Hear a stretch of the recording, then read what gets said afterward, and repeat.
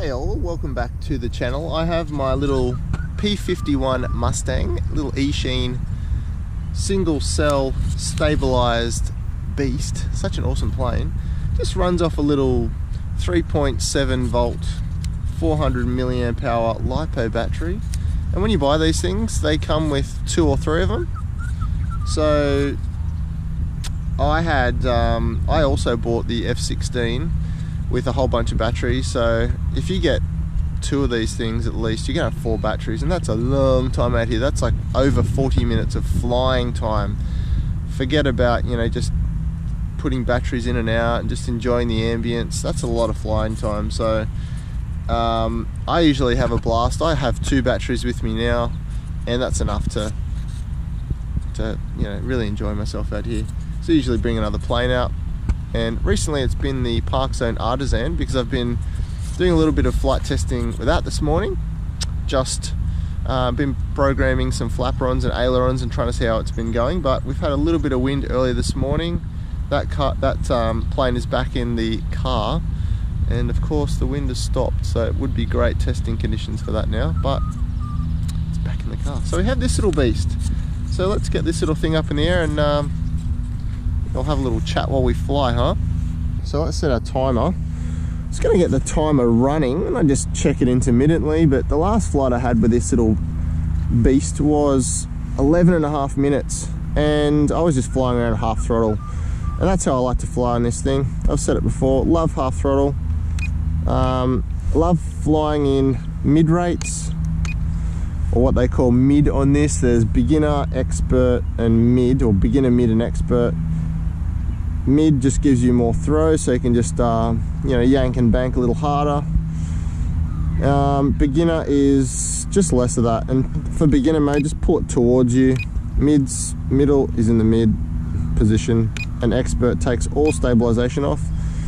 Even if you're a great flyer I don't know I just wouldn't necessarily recommend that. Anyway. Because well at least with not this transmitter because it's a little bit you know, not accurate. Stick movement's inaccurate. Let's fly. Just gonna peg it back. So you can launch this thing with about, oh gosh, it'll fly on half throttle for, for certain. So this now is, well, look at that. Whatever that is. So that's probably, I mean, looking at it, it looks like about 30% throttle. Just give it a little bit more juice. She flies really well at half throttle. And she'll scream at full. Oh, look at that. What I find is I love flying it low.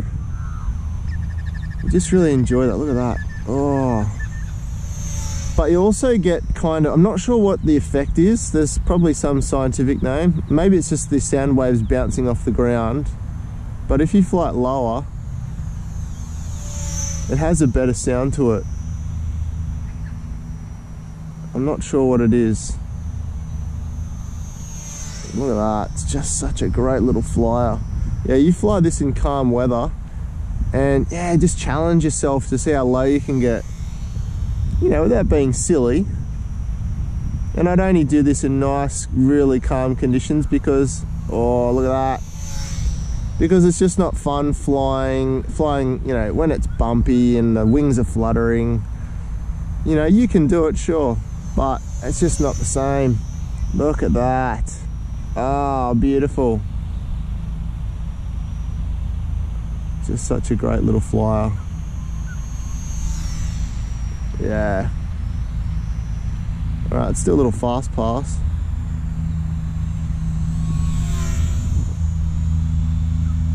Yeah, I mean, if you put that into the ground at full throttle, it might do a little bit of damage, but I find if you want to want to have a good time, if you want to have a good time, lower to the ground. 50% is pretty good because then she's fairly predictable. You know you're not gonna panic and go yanking the sticks around or whatever.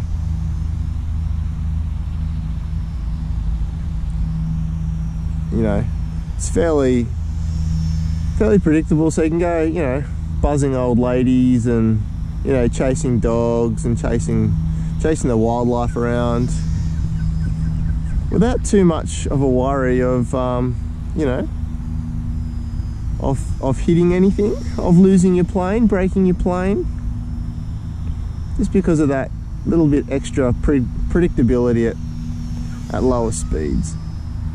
You don't have to you don't have to, you know, go wide open throttle.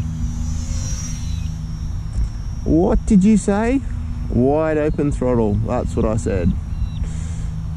Yeah, look at it go. Woo! So yeah, this I, I I don't even fly this thing with rudder usually. I mean you can. And she responds to it. That's rudder.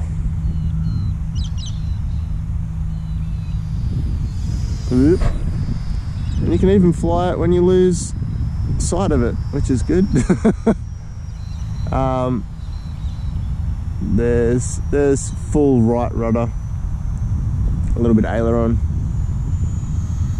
Yeah, but I mean to get that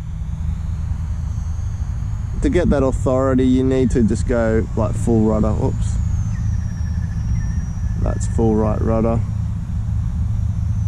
All right, let's let's just go a little bit lower again. Yeah.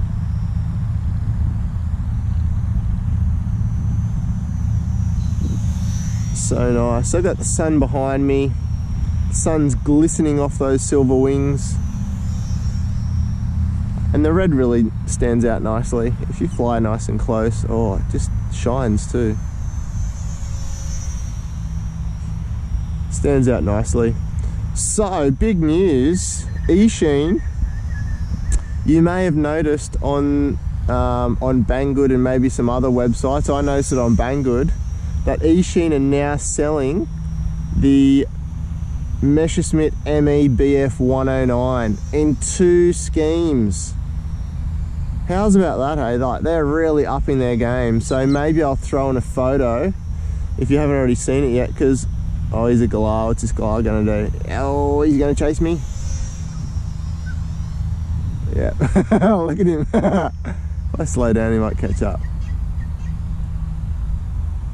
Oh, he's loving it. Nah, he's going away.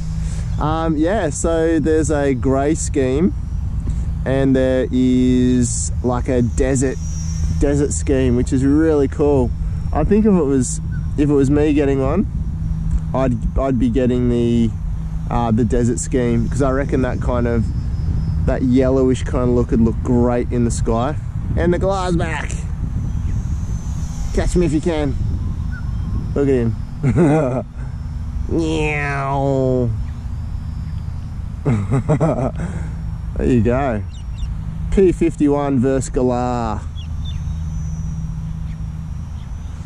Yeah, so the BF109, that's that's in in stock. Will I get it? Probably not. Why? Because I'm cheap.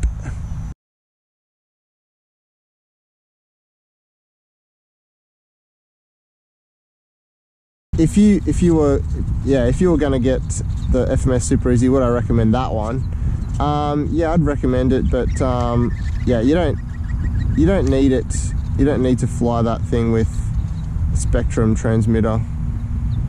If you're a real cheapo like I am, and you want to save money, get a cheap transmitter and then you can buy it, um, I would say.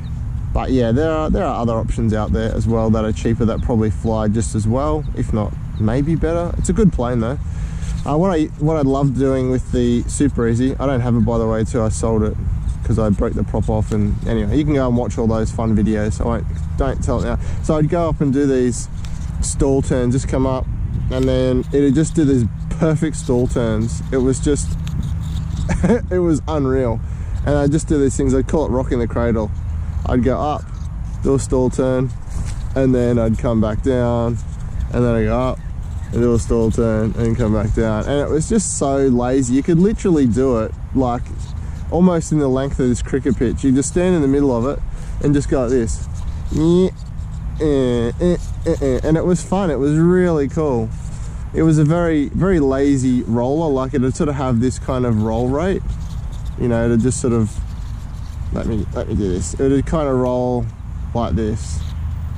Nothing snappy, like, you know, if you want snappy, you want to get an extra or something, but um, yeah, so P51 Mustang, great plane, good time.